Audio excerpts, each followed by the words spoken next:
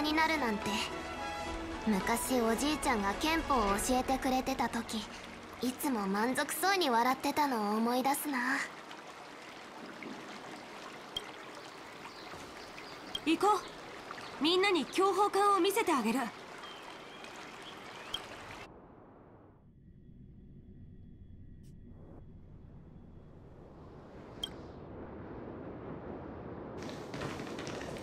強砲艦を見に来る人は意外と多いんですね。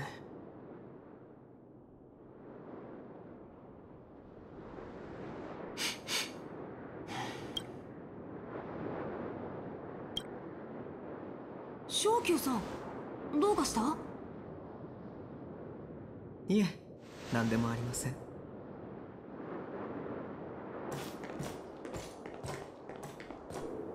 ほらあの遠くに見える船が今回の演武天霊の試合会場強砲艦だよ。遠くから見た感じだと別に特別な感じはしませんね。あの強砲艦はラフの引退した艦船を改造したもので演武天霊が正式に始まるまでは誰も入っちゃいけないんだでも明日鐘が鳴って礼砲が打ち上げられたら僕は泉州ラフの運気軍代表として演武台に立って各地の勇士たちの挑戦を受けることになる。僕は小さい頃から将軍のそばで剣術と兵法を学んできた。毎日剣を振るって斬撃を1万回刺激を1万回ずっと繰り返してきたんだ。僕が普通の子供と少し違うことは分かってる。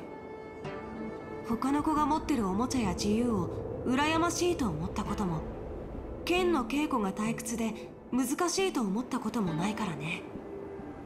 戦場に出て敵を切り殺した時も邪悪な意味者たちと戦っている時も怖くはなかった。毎日自分がどんどん強くなってる感じがして何度も勝利を手にしてこれより楽しいことはこの世にはないって思ってた。でもある人と剣を交えた時たった一撃で僕の完璧な自信は打ち砕かれた。その一撃が迫ってきた時僕は初めて怖いと思ったんだ。もしかしたらそれが昇級さんの死に瀕した瞬間晩年が無に帰すってことなのかもしれないね。その後僕は砕けた自信を一つずつ拾い集めて組み合わせ過去の幸せな自分を再現しようとした。でも何をしても昔の気持ちは取り戻せなかったんだ。それから時々自分に問いかけてるよ。なぜ剣を振るうのか。どうせ次の敗北に直面することになるのならなぜ剣を振るい続けるのか。勝利の喜びを取り戻すため将軍の期待に応えるためそれとも運気軍として功績を残すため。将軍は僕に剣術を教えてくれるけど剣を振るうための理由は教えてくれない。剣を振るう理由は自分で探す必要があるって将軍は言ってた。だから僕はその理由を探すために悩み続けてたんだ。でも正気屋さんとの会話の中で答えを見つけられたよ。運気軍の一員として将軍の弟子として僕は多くのものを背負ってる。そしてこれからもっと多くのものを背負う運命にある。でも剣を振るう時だけは全部忘れられる気がするんだ。僕は目の前の障害に向かって全力で剣を振り下ろして進み続ける自分が好きなんだ。それこそが僕が剣を振るう理由だよ。元凶くんまだ若いのに大人っぽいですね。そういえば今は何歳なんです？年齢は関係ないよ剣を学ぶ人なら自然と僕の気持ちがわかると思う。うん。わかりました。ラフの子供は本当に大変ですね。ではウンリさん君はどうですか？どの選手でも女の子に年齢を尋ねるのは失礼なことだと思うけど。年齢を聞いたわけじゃありません。君にも元凶君のような夢はあるのかと聞いているんですあなたって料理人じゃなくて司会者みたい。うんちゃんと覚えておいてください。僕は医師です。私には元凶みたいな夢はない。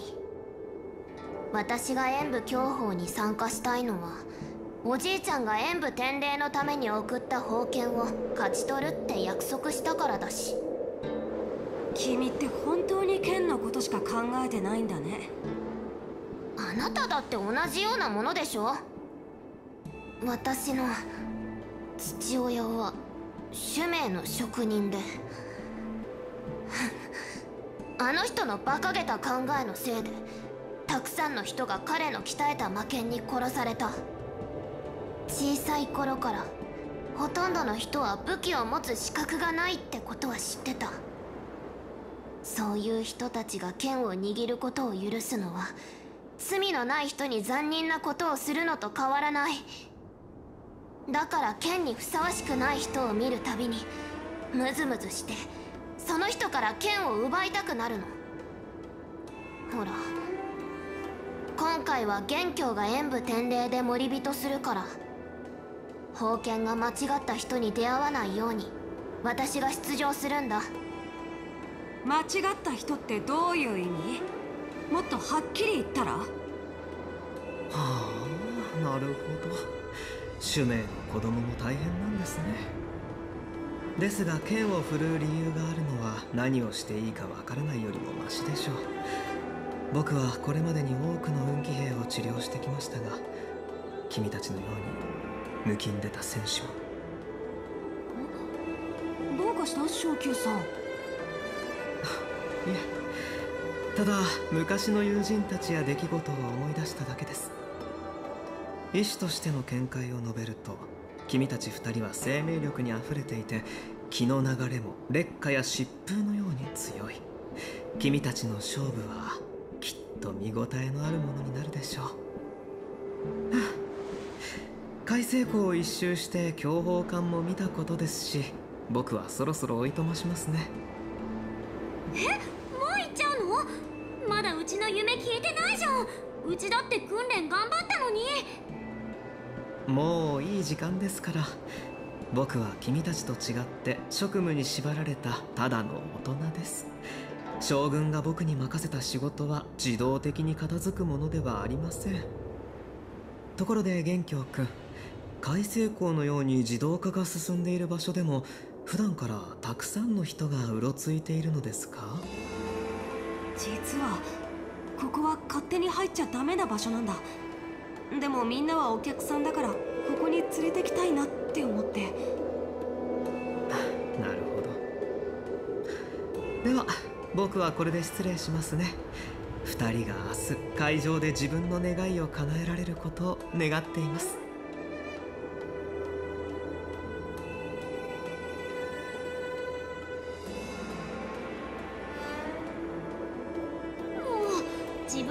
は何なのかずっと考えてたのに結局聞いてくれないなんて。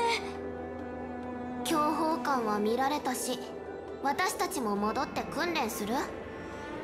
今日は一日休みにしない？なんで？一人でこっそり剣の特訓でもする気？そんなのさせないから。戦の直前に技を磨いたところで役に立つわけないだろ変な話だけど強砲艦を見たら急に自信が湧いてきたんだ。だから今日は英気を養って明日に備えようと思ってそれじゃあ今から海星港の外まで案内するね。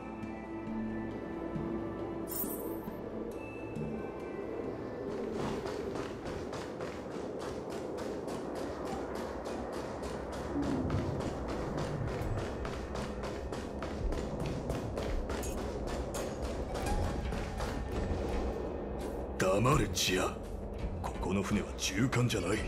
時間をかける必要があるんだ。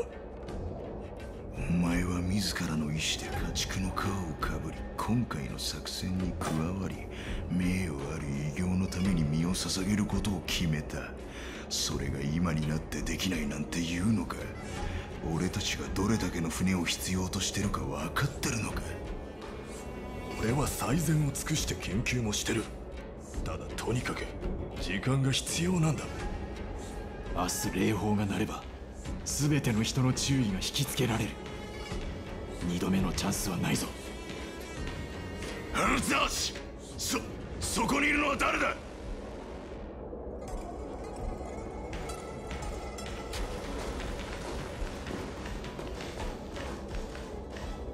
君たちは？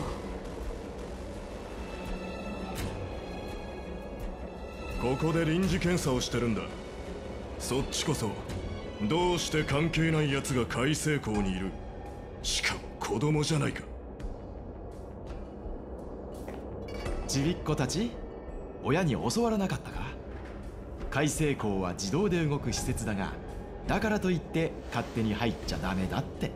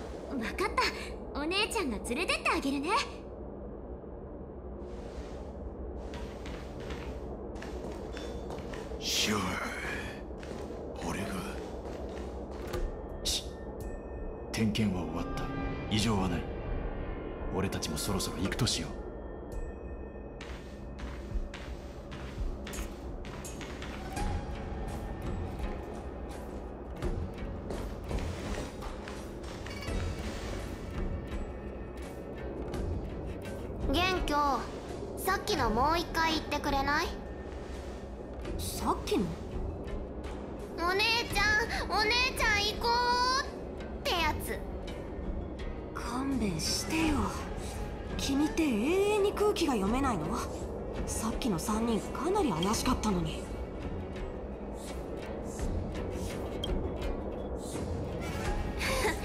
そんなのバカにだってわかる。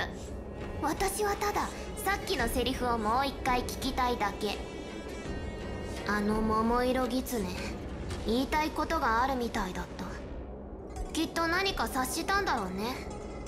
でも彼はここに詳しくないからいなくなる前に海星港にこんな人がいるのはおかしいって案に示してくれた。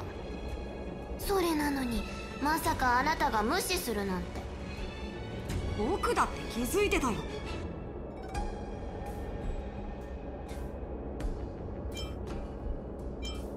の運気兵全然元凶師匠のこと知らないみたいだった。確かにすごく怪しいね。何？元凶ってラフで有名なの？種名の運気軍は数えきれないほどいるから私の名前は聞いたことがあっても顔は知らない人の方が多いけど。確かに運理のパターンみたいに全員が元凶の顔を知ってるとは限らないか運気軍に天白師の人に職人。職種を考えれば点検だって言われても納得できるけどさっきの人何か変なこと口走ってた。二人は聞こえた。これは僕の勘だけどあの人たちの後をこっそりつけたら化けの皮を剥がせる気がする。ついてきて。見つからないように気をつけてね。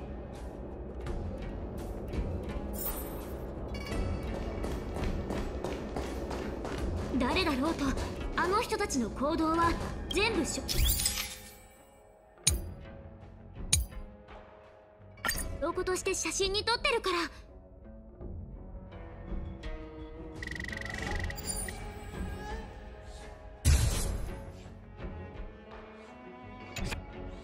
さっきの3匹の家畜は殺すべきだった。ガキは場所を取らない。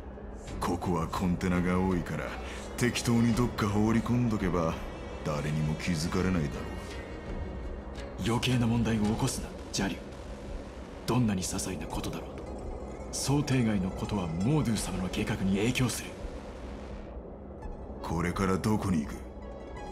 貨物船の検査に行く。やるべきことはたくさんあるんだ。あああのコンテナも忘れずに持っていくぞ物資万全の準備を整える必要がある。さもないと俺たちはここで一巻の終わりを迎えることになるからな。この人たち密輸業者？何するつもりなんだろう？わからないけどあのコンテナを持ち去ろうとしてるみたい。僕にいい考えがある。あの中に隠れてあの人たちを追うんだ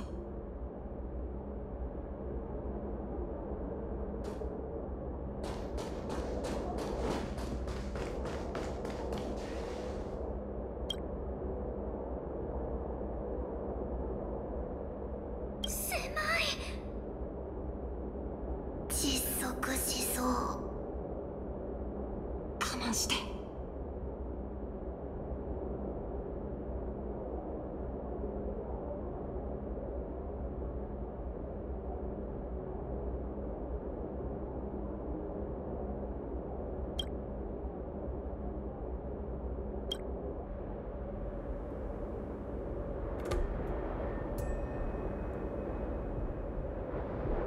貨物はここに置いておこう。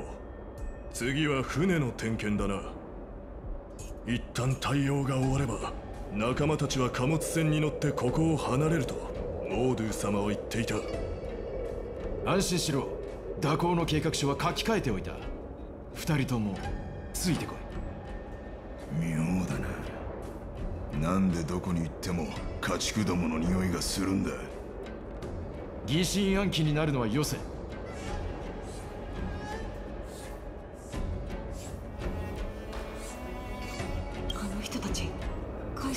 船を利用して仲間たちを泉州から連れ出そうとしてるみたいだ。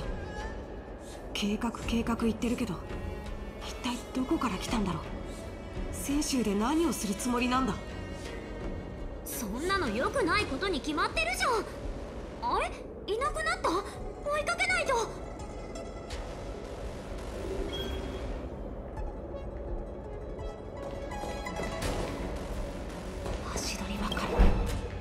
呼吸は浅く常に相手の行動に気を配って動きがあったらすぐに隠れるんだ。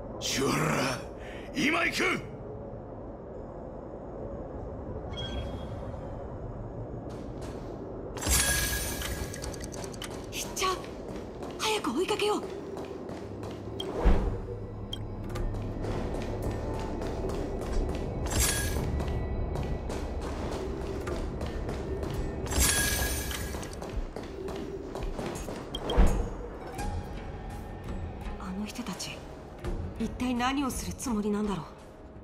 全員ちゃんとした制服を着てはいるけどかけてもいい。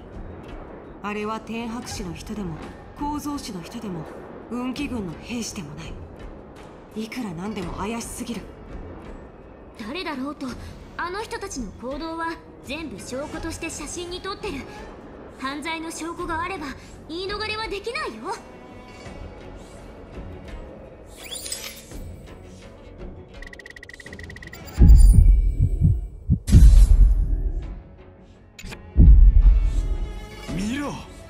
輸送用精査一層で少なくとも仲間を20人は送り出せる。他の仲間にも連絡してもっと用意してもらうつもりだ。関門を抜けたら迎えの銃艦が待っている。モードゥ様はすでに準備を整えた。古き血脈が復活するかどうかは俺たちにかかってるんだ。今なんて言った？銃艦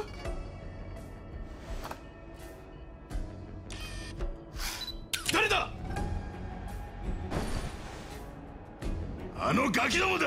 すぐに始末すべきだって言ったのにお前が聞かなかったせいだぞ。この脳なし！生かしてはおけない。やるぞ！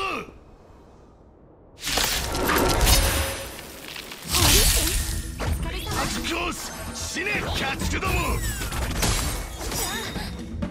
コラボスタート。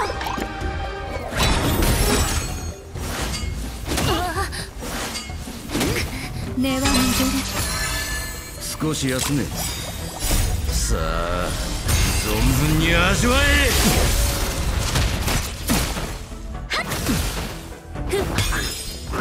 離れなさい。アドリブで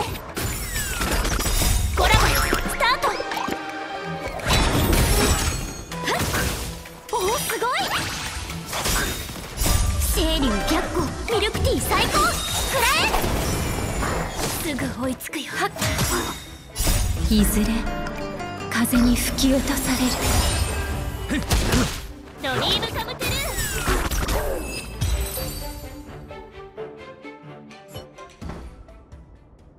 ー。ありえない。この古族どうしてどうして姿が変わったんだ？こいつらは古族なんかじゃない。ただ正体を表しただけ。こいつらは正真正銘のホリ人で私がカンパニーの船で倒した強盗たちの仲間。それってつまり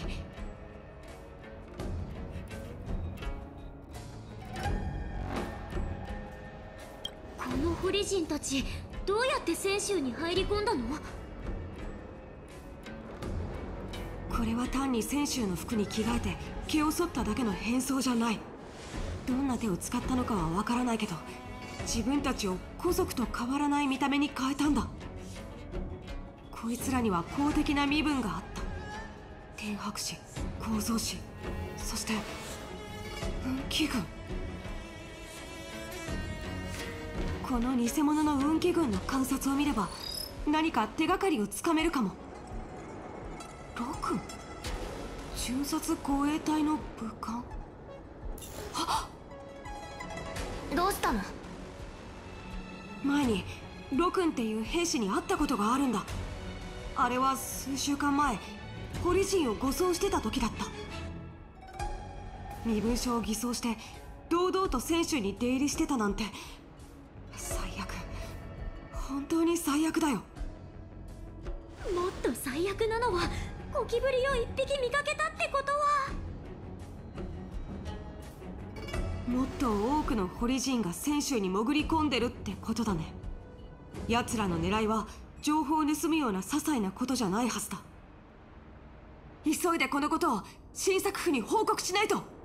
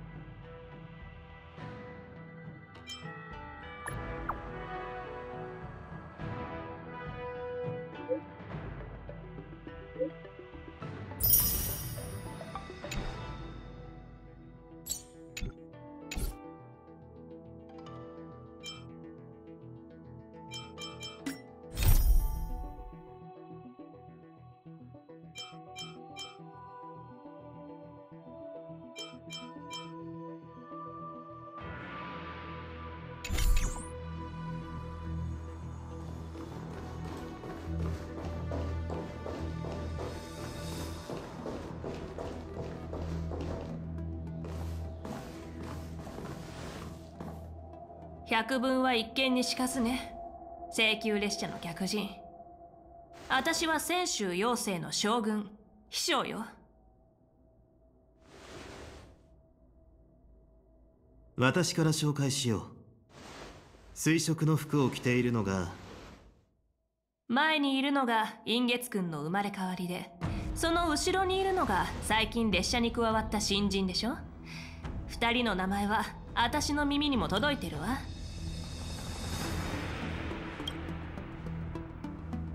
ラフの報告書の他に妖精の天白氏があなたたちの情報を集めたの。一度会ってみたいと思ってたのよ。その理由は慶元将軍から聞いてるわよね。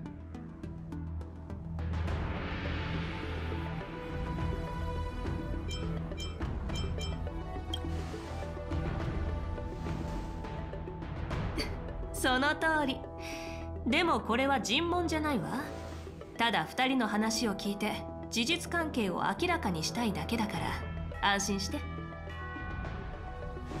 慶元将軍は報告書の中で人滅軍団を剣木の災いの元凶と定め人滅過疎の動向に注意するよう他の天将に警告した。壊滅の手先はこれまでに数えきれないほどの世界を破壊してきたわ。同盟も奴らを警戒していたけどまさか北条の残党と手を組むなんてね。幸い剣木の災いによる被害は想像よりはるかに少ない。でも今回の事件はただ全てを焼き尽くす人滅軍団のやり方とは大きく異なるものだった。新作将軍と七死人たちの武勇は信じてるけど報告書には記されていない詳細について知りたいの。だからこの機会に2人と話せたらと思って。先に言っておくけどこれから尋ねることは必ずしも私の考えってわけじゃない。機嫌を損ねてしまうような質問もあるかもしれないけどどうか悪く思わないでね。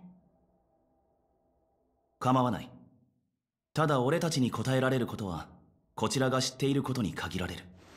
そして将軍が聞きたいことはすでに答えが出ているかもしれない。口が達者なのね。気に入ったわ。この天撃将軍って人口がうまい。目的はわからないけど軽減は正直に答えてほしいって言ってるしとりあえず知ってる事実だけを言えばいいかな。じゃあ早速始めるわね。請求列車は指名手配犯。性格ハンターに導かれてラフを訪れ性格の危機を解こうとした。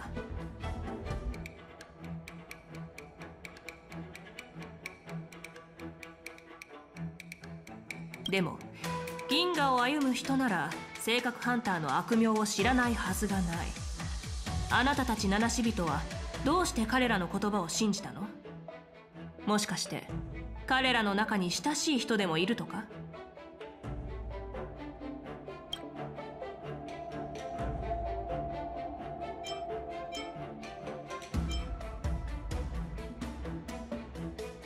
噂によれば性格ハンターのリーダーエリオは未来のさまざまな可能性を予見する力を持ってるって言われてる。エリオは泉州と列車がナヌークとの戦いに参加する未来を見た。だから私たちをここに呼んだんじゃないかな。ラフの危機を解決させてその予見を実現させるために。報告書を見る限りケーゲン将軍もその言い分を信じてるみたいね。逆に聞きたいんだけどそれに対して疑問を持ったことはないの？もしかしてハンターの中に窮地がいるからかしら？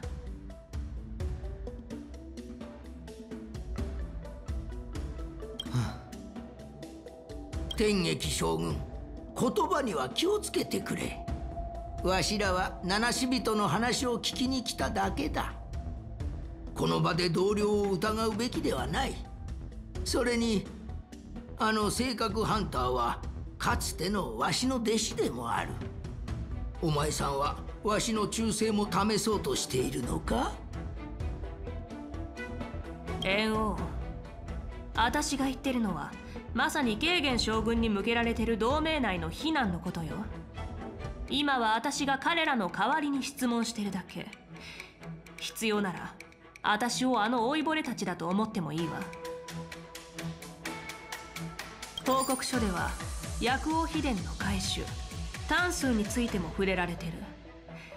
彼女は横島な考えを抱き絶滅大君と結託して性格を使い剣木を再生させた。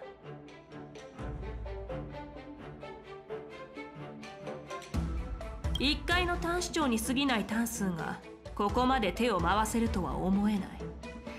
外敵と結託して性格を持ち込んだにしても剣木を取り囲む古海は寿命族の領地。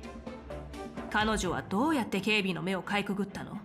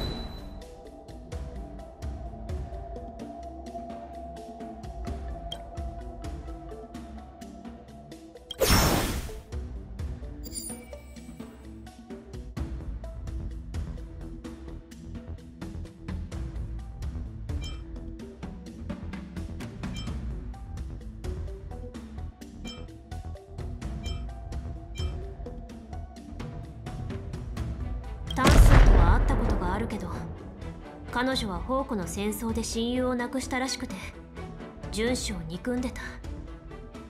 だから泉州に復讐したくて探偵士でずっと準備してたのかも。復讐？それもまた遵守の一つね。でもそれはあくまで動機に過ぎない。彼女には寿命族が守る林縁境に性格を持ち込める力なんてないわ。それについては単数に聞くべきじゃないのか？残念だけど単数はもう死んでるの。屍も灰になっちゃったから手がかりがまた一つ減ったわね。報告書では絶滅大君元老が事件の黒幕だとされてる。彼女は天白氏のある節都市の姿であなたたちに同行して最後には忽然と姿を消した。存在自体が自由すぎて濡れ衣を着せる相手としては最適ね。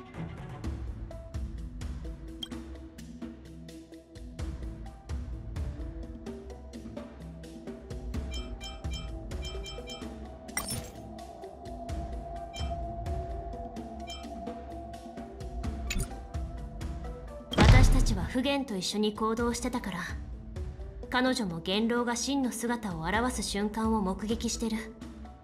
まさか仲間を信じてないの？ラフの重心である不言の証言はもちろん信用に値する。でもたとえその目で見たものだろうと欺かれている可能性は消えないの。黒幕は存在自体が自由で忽然と姿を消したなんて。疑われても仕方ないわ。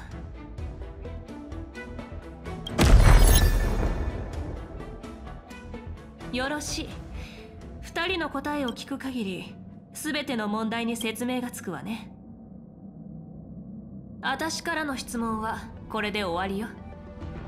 それで秘書将軍はどう考える？報告書の疑問点は解消されたのか？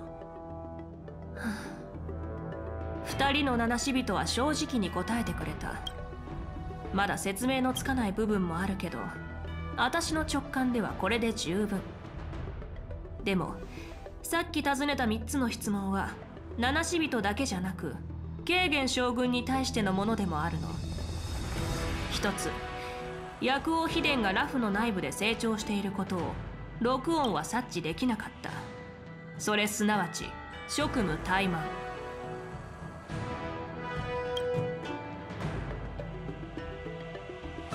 2つ。性格ハンターの言い分を鵜呑みにして危機解決の重責を他人に委ねた挙句樹下の後に接触することを許した。それすなわち責務放棄。3つ。剣木の災いの後独断で演武天霊の開催を決めラフを再び宇宙の注目の的にした。それすなわち戦略不全。天撃将軍それはお前さんの考えか。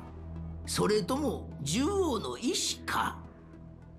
最初に言ったでしょ。私が尋ねることは必ずしも私の考えじゃないって。薬王秘伝の勢力は複雑に入り混じっていて長い間陰謀を企てていた。それに気づかなかったのは確かに私の落ち度だ。性格ハンターの予言は私も鵜呑みにしているわけではない。ただ事実として敵に対応している間にラフは剣木の災いを乗り越えた。そう考えればエリオの予言も出任せとは言えないだろう。演武天霊については災いを引き入れるリスクがあることは十分理解している。だがリスクは同時に天気でもある。ラフは長らく停滞していたからなそろそろ治水をかき混ぜよどみを取り除かなければ。さすがは新作将軍。文化人ね。ほんの少しの言葉で先週熟語大全を読んだ気分になっちゃった。気に入ったわ。でも残念だけど報告書が提出された日から同盟内では流言や憶測が飛び交ってるの。ラフ内部からも剣木が再生したのは将軍の職務怠慢が原因だっていう指摘が上がってるしね。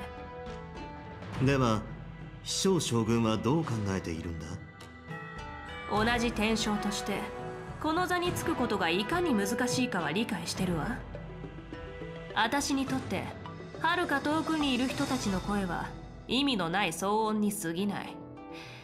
ラフで起こったことそれによってもたらされる危機とその背後に隠された意味は新作将軍にしかわからない。妖精が最近直面した問題のように。それはつまり妖精も。請求軍の石膏から堀人がまた動き出したって報告があったの。バラバラになっていた両軍が互いに攻め合い併合してより大きな両軍を形成していってるマングスって呼ばれるものが連中を導いてるみたい。もの送られてきた情報によるとそれは堀人じゃない。長生の主の使者を自称する女で十二の顔十二対の牙を持ち猛毒のように残酷で流砂のように変幻自在。堀人は彼女が自分たちに再起のチャンスを与えてくれると信じてる元老か？ええ。来たのが私でよかったわね。もし神明将軍や重東将軍だったらここまで友好的な会話は望めなかったかもしれないわ。私は直感を信じてるからあなたたちのような正々堂々とした義教を疑うことはない。でもラフが難しい局面に立たされてることも確かだから同盟に申し開きができるよう一番大事な点を押さえておきたいと思ってるの。秘書将軍どうするつもりだ？軽減将軍なら分かってるでしょ。でもあなたがやりたくないって言うなら私が代わりに務めてあげる。剣木の剣に対する指摘や疑いの声を抑えるには獣王氏の裁定が必要になるわ。それを得るために七死人の二人には一緒に優秀国へ行ってもらいたいの。拘束するんじゃなくて合教代を使って詳しい証言を残すよう獣王氏の文字部の判官に申請するのよ。これは報告書を保管するためでもあり同盟内の抗議の声を封じるためでもある。俺は構わないが素晴らしいこれほど協力的で思いやりがあるとは感動して涙が出そうだ。分かった。天撃将軍の要求に従おう。あともう一つ大事な用があるの。獣王氏の因果をされた証言は同盟上層部の反対の声を抑えるためのもの。そして慶元将軍には妖精の古族の声を聞いてもらいたい天撃将軍は風霊のために来たのか？ええ。私はラフの優秀国に収容されてる堀人の主婦風霊を妖精に移管したい。近頃の堀人の動向は奴らが大きな計画を企てていることを証明してる。それが何であろうと一刻も早く対処しないと。風霊は古族の旧敵だからな古族が管理収容することは道理にかなっている。秘書将軍がラフの処置を信用してくれるのならこちらも当然それに報いるべきだ。猿王はどう考える？激しい論争になるかと思ったがわしの考えすぎだったようだ。二人が互いの問題を解決すると決めたのならそうするのが一番だろう。風霊の身柄の引き渡しについてはまずは部下の昇給とモゼに牢屋の状況を確認させてそれから王葬の準備をしたい。他に問題がなければ早速始めましょう。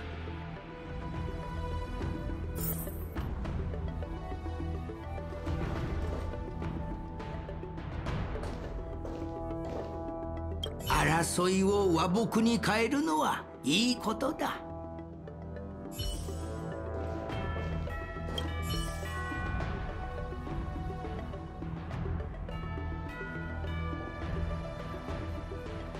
あなたは性格ハンターの予言を信じてるの？信じてる。だからここに来たの。なるほどね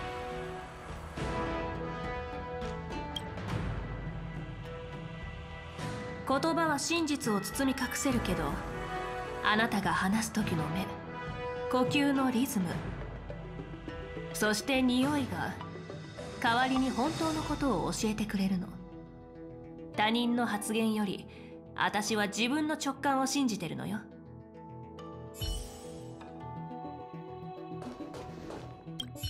すまないな。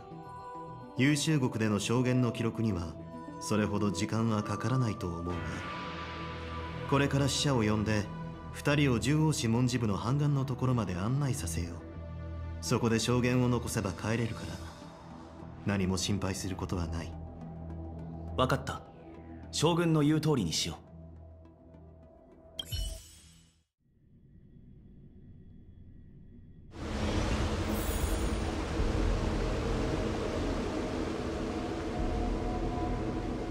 慶元将軍の要請により出迎えに来ました。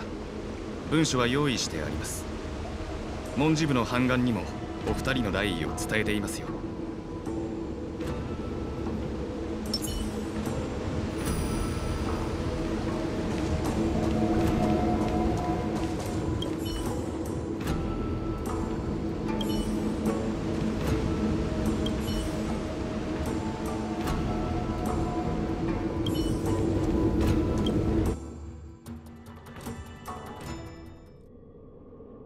優秀国。何年ぶりだろうな。またここに戻ってくることになるとは思わなかった。タンコ俺は大丈夫だ。準備ができたのなら獄門を開きますね。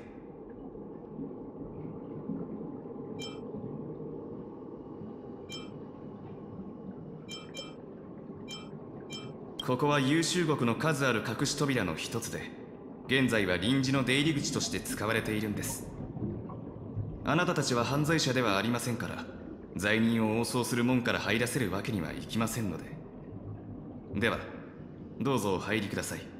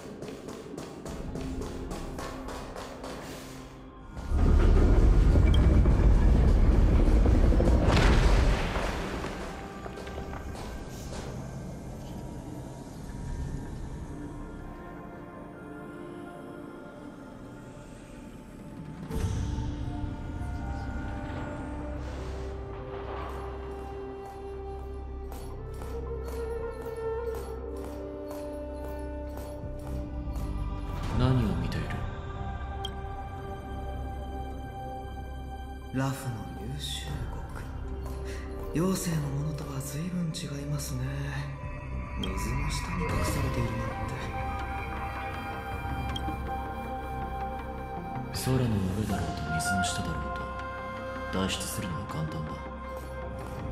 おや？また脱獄壁が抑えられなくなったんですか？詮索するのはやめなさい。今の君は自由の身なのですから。ここで反乱たちに何か企んでいると思われたら数百年の懲役を食らうことになりますよ。仮に捕まったとしても数日後にはまた俺の顔を見ることになるだろう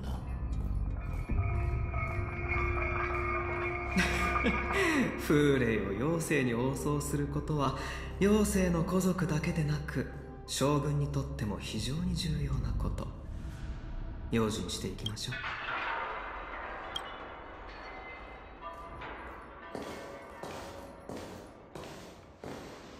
はじめまして。私は節意と言います。獣王子サジブの命を受けここでお二人を待っていました。昇級モゼ天力将軍秘書より堀の重罪に風霊を妖精へ応送するよう命を受けてまいりました。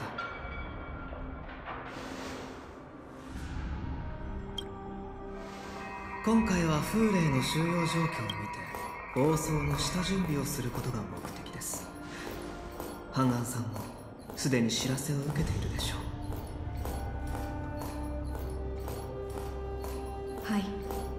面会の申請は承認されました。ここからは私が案内人を務めます。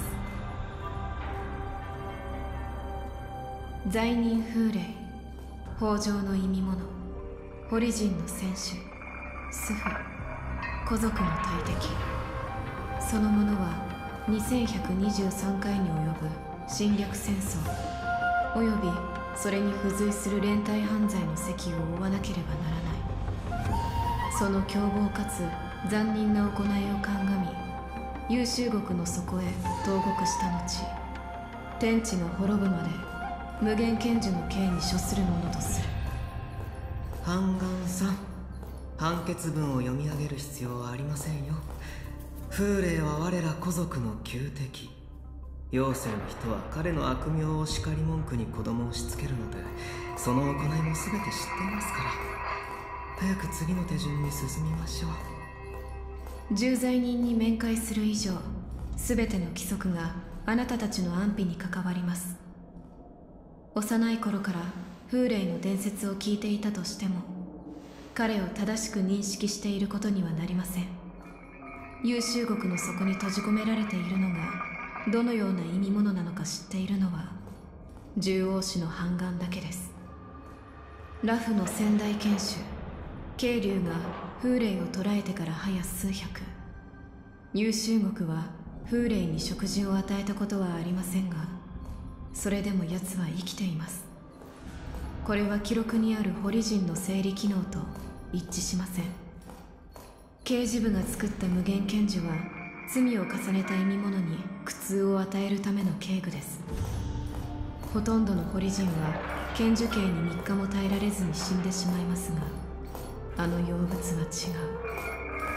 剣に刺されてもすぐに回復して今でも刑を受けながら生きながらえているのです。この凶悪な獣の異常性こそが規則を必要とする理由です。ここまで言えば理解できるでしょう。僕が専務でした。続けてください。風霊との面会における禁止事項をまとめたものをあなたたちに渡しておきます。しっかり目を通してください。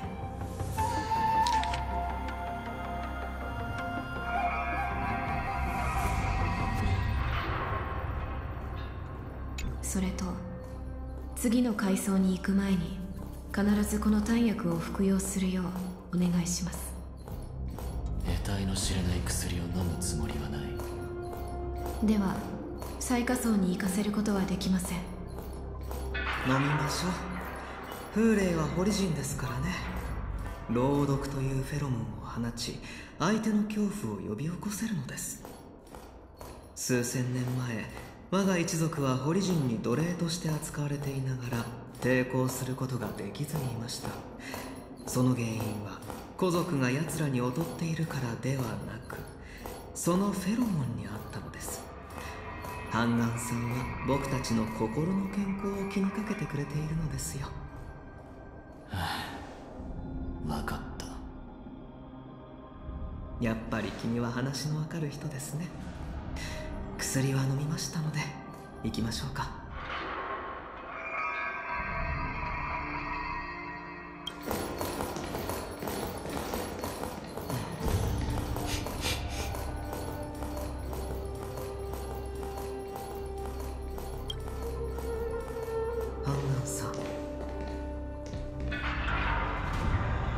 どうしました？い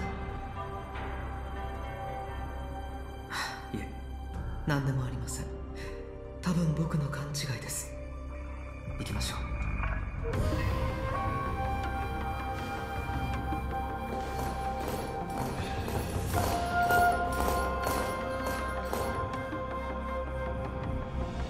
着きました。半眼はまだ来ていないようなので少々お待ちください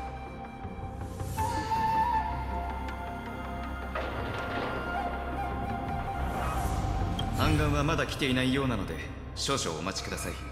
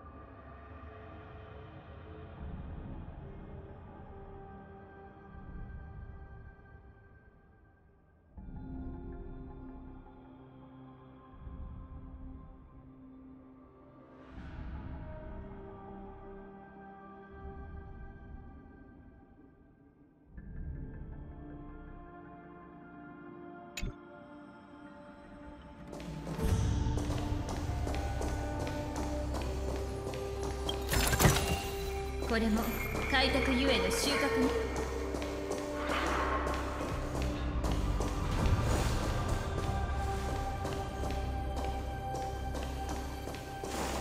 半眼はまだ来ていないようなので少々お待ちください。